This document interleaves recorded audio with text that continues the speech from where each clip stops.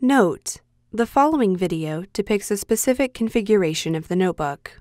The same removal and replacement procedures apply to all configurations of the notebook.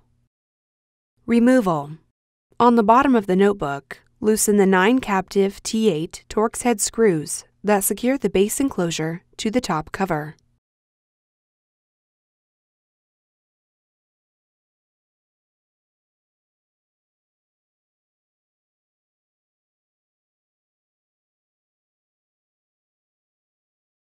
Carefully separate the edges of the base enclosure from the top cover. Lift the rear edge of the base enclosure and remove the retention tabs on the front edge of the base enclosure from the cutouts in the top cover.